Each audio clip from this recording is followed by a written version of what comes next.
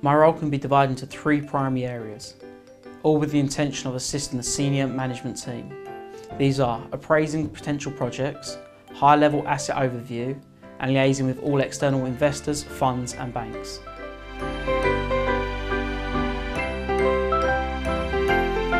What I enjoy most about my job is the fact I get to keep on learning, flexibility, meeting new people and the responsibility.